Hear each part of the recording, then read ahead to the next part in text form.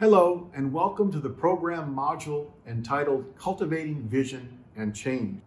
You may know that the Orthodox Christian Leadership Initiative exists to nurture and empower Orthodox Christian servant leadership. And currently, OCLI has four modules in this program Cultivating Vision and Change, which we will address today, Effective Parish Leadership Teams, Inspiring Generosity of Stewards, and finance planning and management.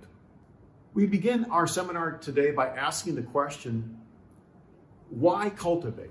Cultivate is defined as the following, to foster the growth of, to improve by labor, care, or study.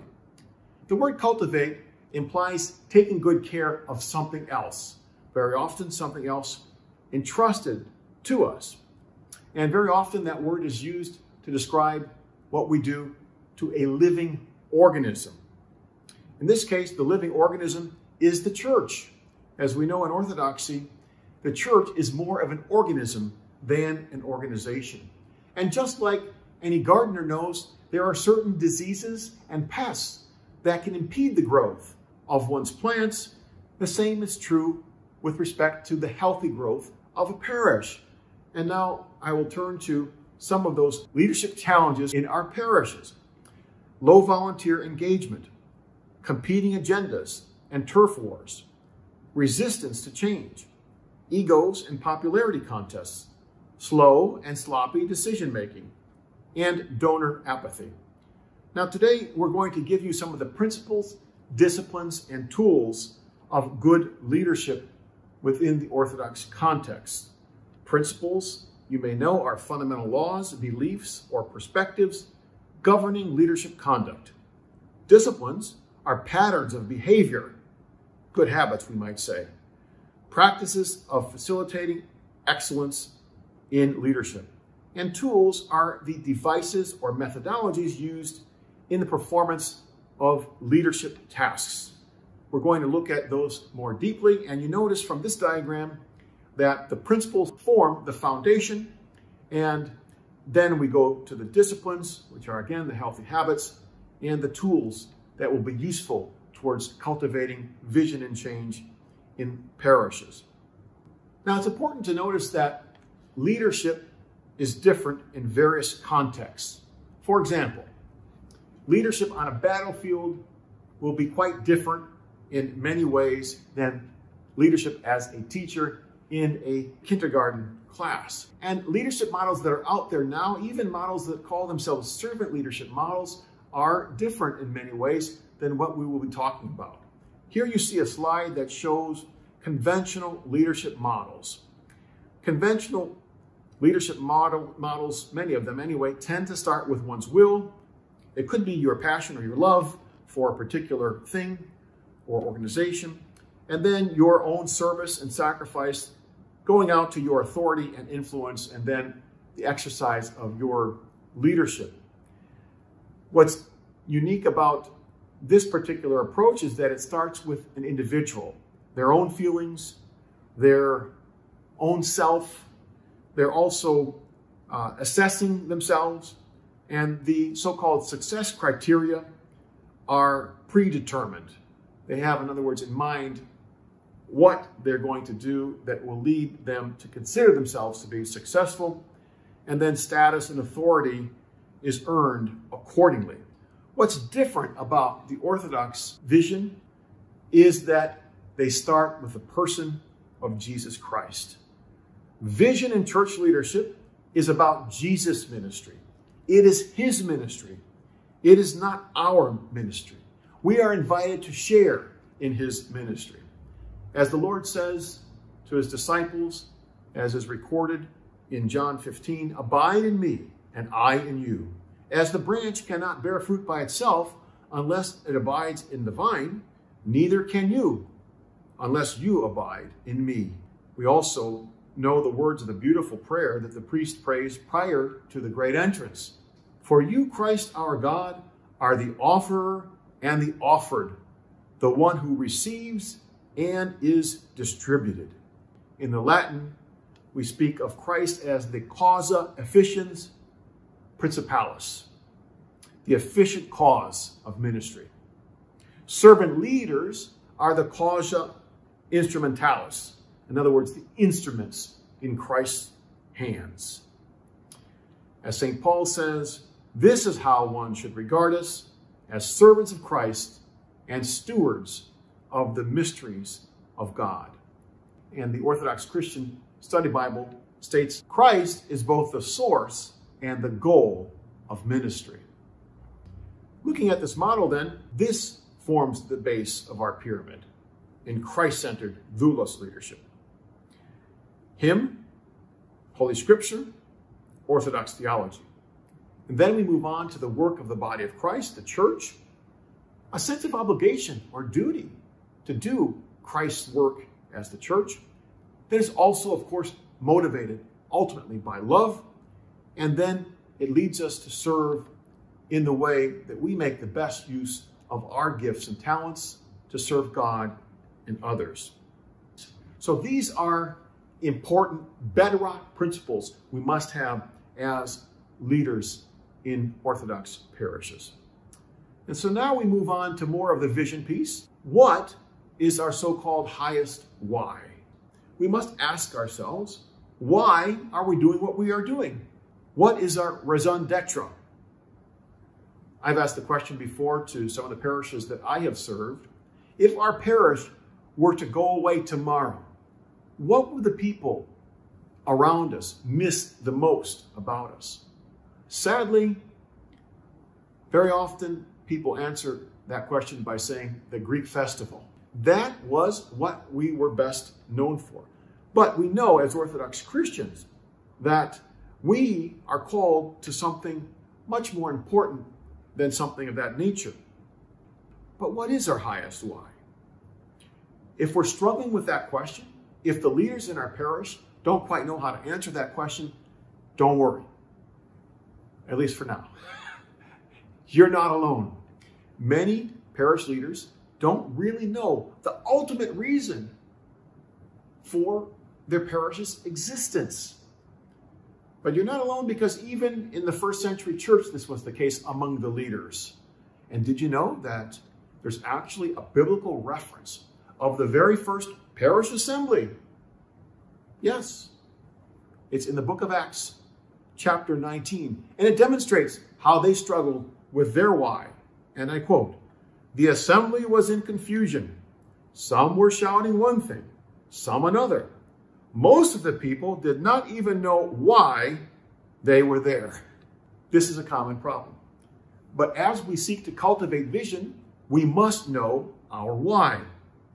In his best-selling book, Start With Why, Simon Sinek gives us this very simple diagram. He also has a very popular TED Talk with over 28 million views on the same subject. So let's look at this diagram now. He says that many less successful organizations or businesses uh, start with the what and they move inward to the how or the why, if they even get to that. And he says that the problem with this is that unsuccessful businesses do not really inspire. Successful businesses and organizations, on the other hand, always communicate their why first they start with why. Why we do what we're doing. And this creates enthusiasm among their high-ranking employees and all of their employees, and ultimately their customers. We could say our volunteers and our members become very enthusiastic because they know why they're doing what they're doing. And it's more inspiring for anyone who comes to that particular business or organization. It reminds me of a story of a pilgrim in 16th century Italy who was walking through a village and saw all kinds of people working. And as he came upon the first group of people working, he asked them, what are you doing? And as they were stirring something, they said, we're mixing concrete.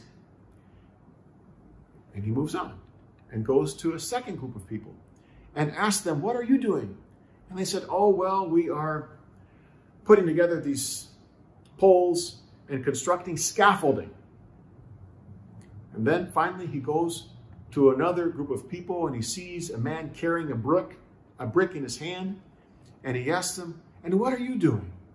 And he said, I am building a glorious cathedral to do God's miraculous work on earth here in our village.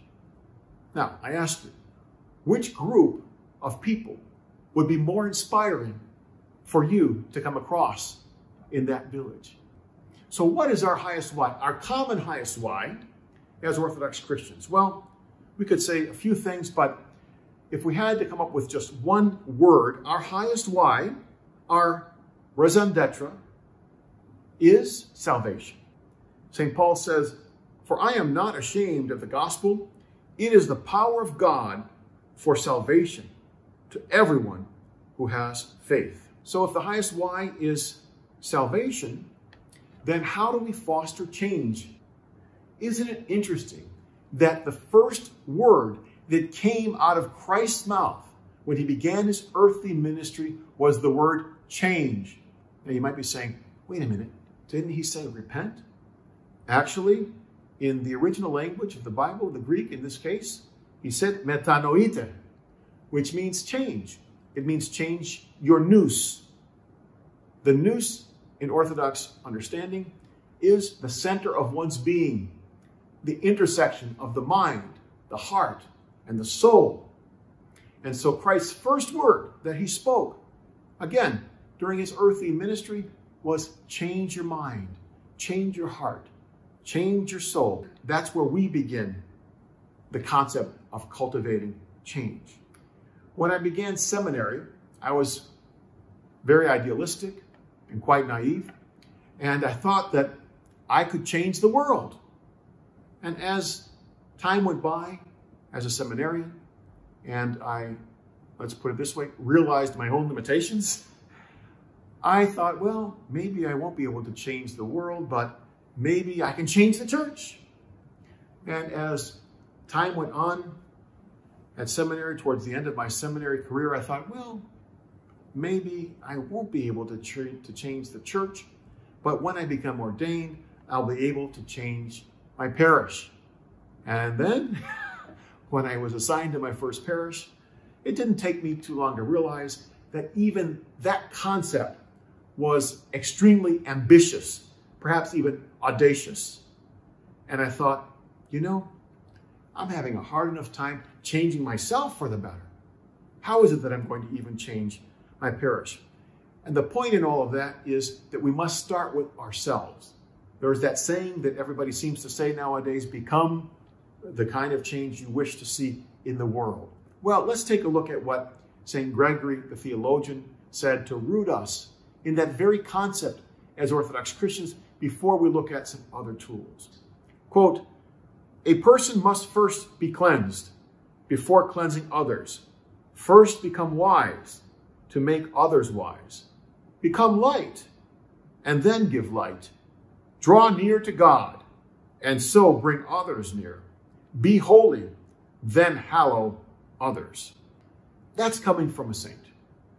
And I hope that we will realize that if we expect to cultivate change in church or in our parish, that God is the ultimate change agent.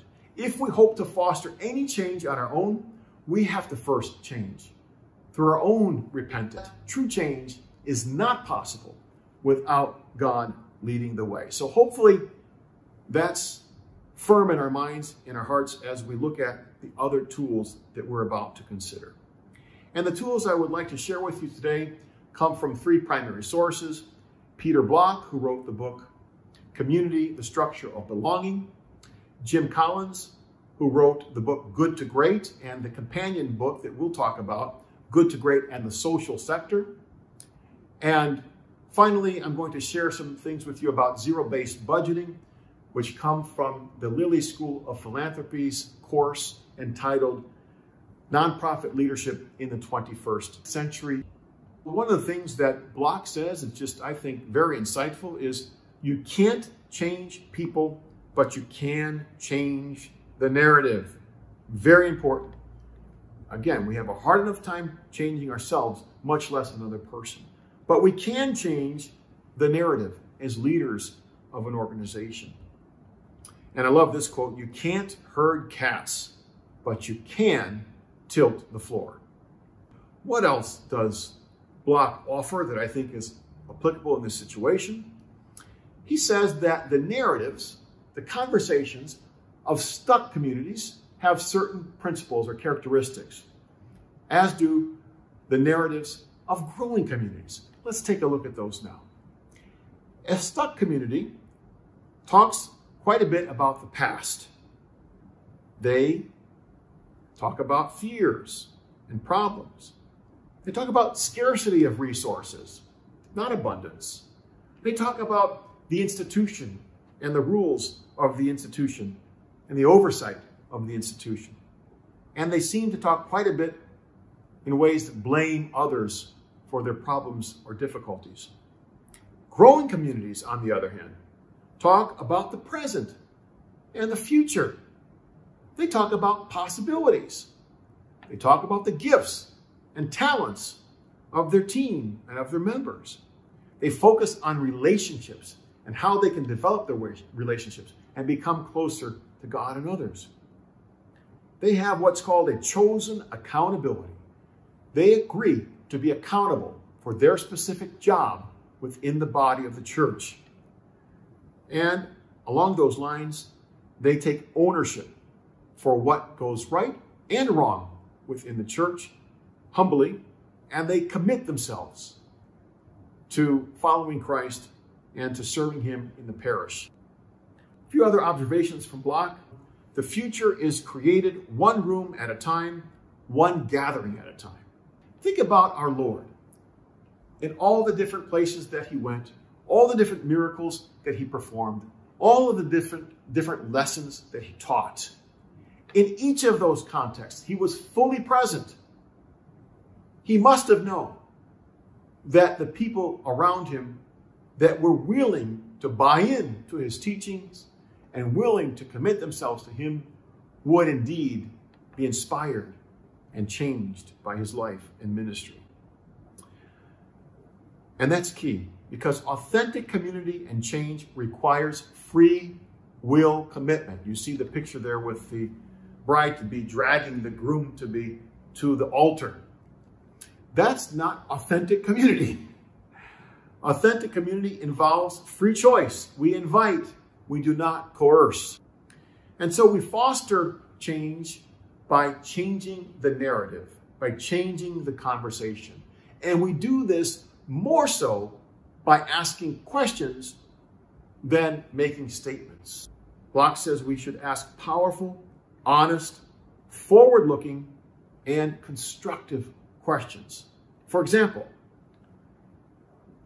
next time you're in a discussion where you're blaming things or talking about scarcity of resources or blaming other people or whatever the case may be, focusing on the past, try this question. Yes, but what do we want to build together? Simple, forward looking, constructive. And then, if people begin to buy into that question and begin to answer it constructively, then try asking this question Now, what are each of you prepared to help make that happen? Prepared to give, rather, to help make that happen. And then finally, to what extent will we commit to creating a future that is distinct from the past?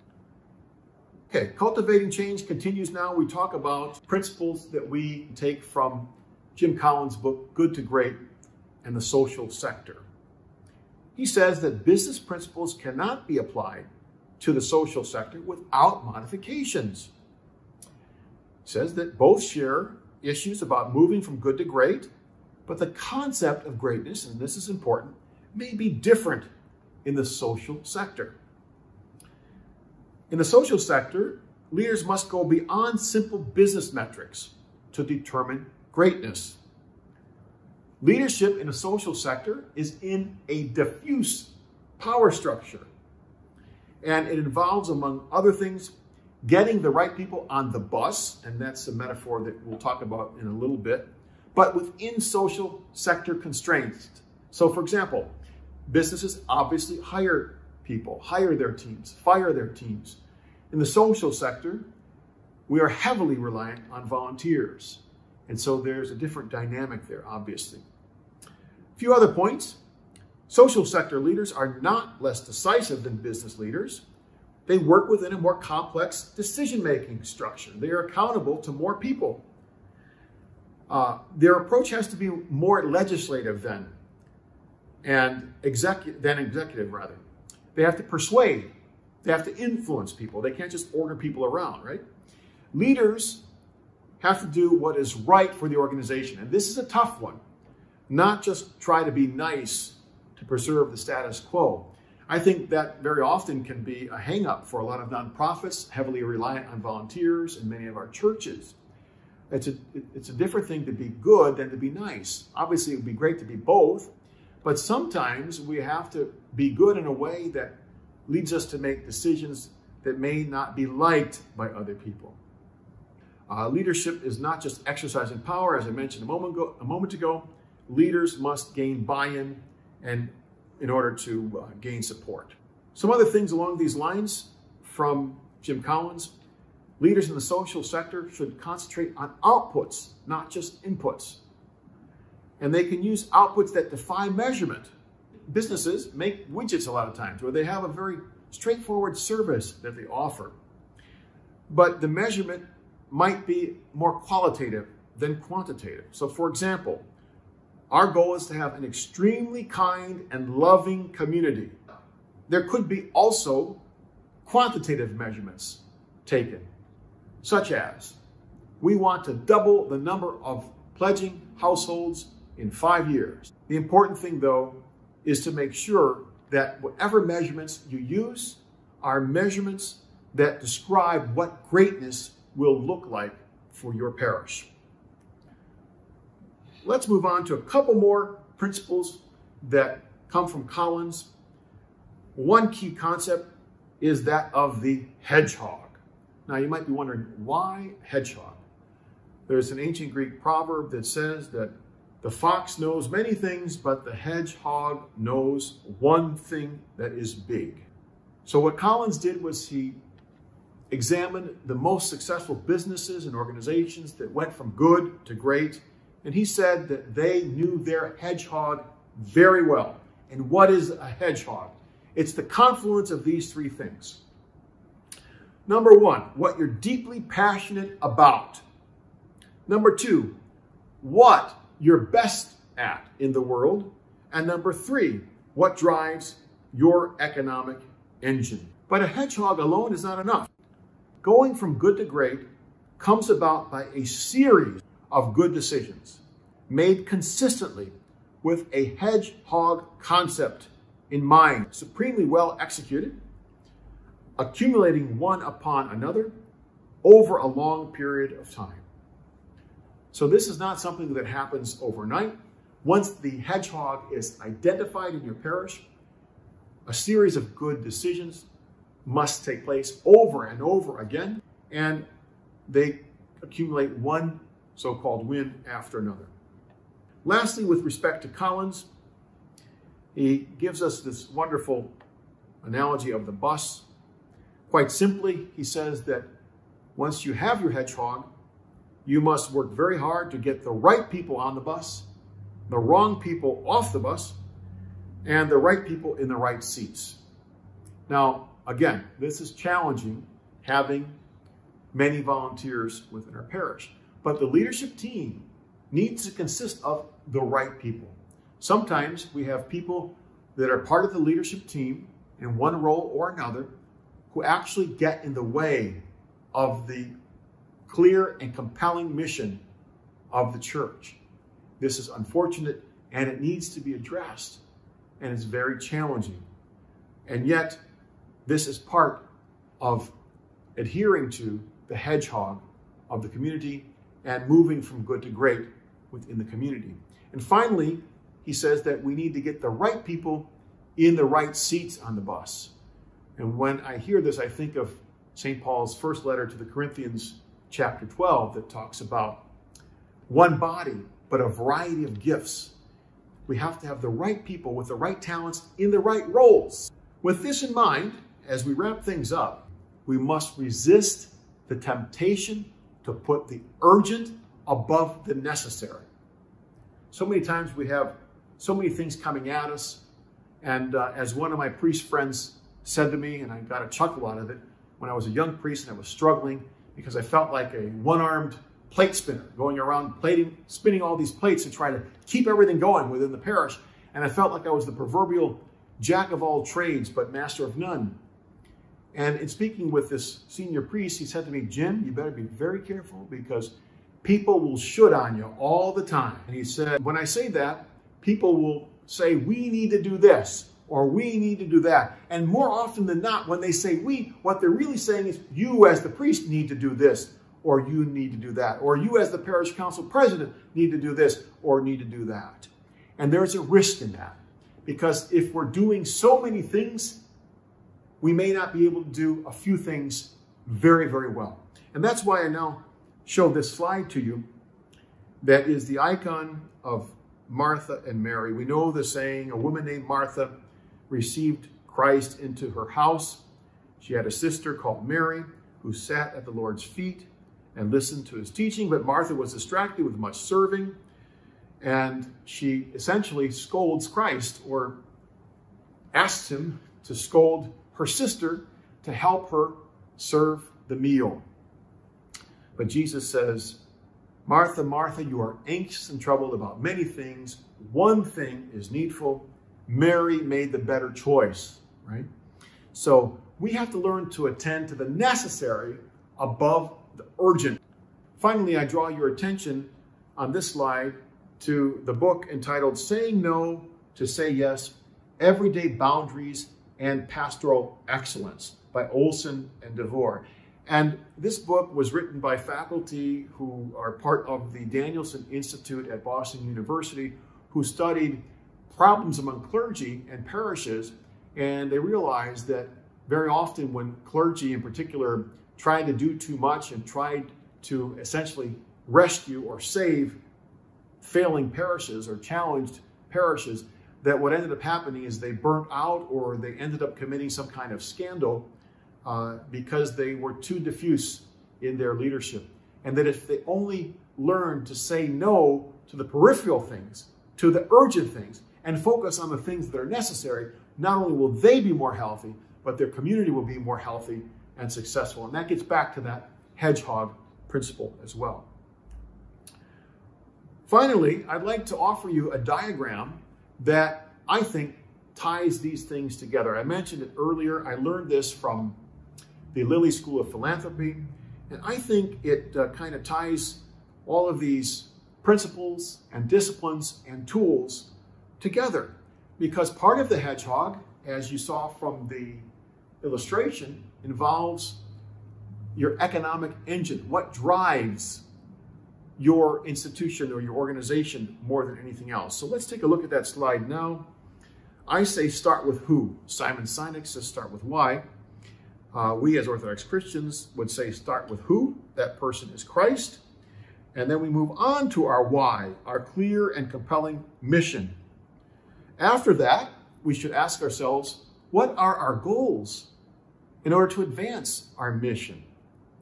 Some parishes have a strategic plan. I advise that as well. Maybe it's a three, five, 10, 20 year strategic plan that are designed to help the parish foster their goals over those periods. Then, of course, there are the parish programs. These are something that advance, of course, the goals and the mission.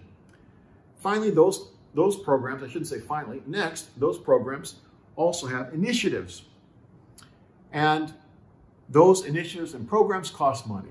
So that box is the box related to expenses Finally, and this is the piece that unfortunately many parish leaders miss, evaluation and assessment.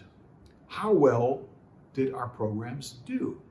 How can we help these programs to be more successful in advancing the goals of the parish, which in turn advance the mission of the parish? And the difficult part is the annual budgeting process goes back to zero after every year. So the evaluation of the budget is connected to, not divorced from, but connected to the effectiveness of the programs within the church. And those programs, again, are designed to advance the goals and the mission of the church. So the programs that are not successful and not salvageable could be discontinued. And there's nothing wrong with that. That's saying no to say yes.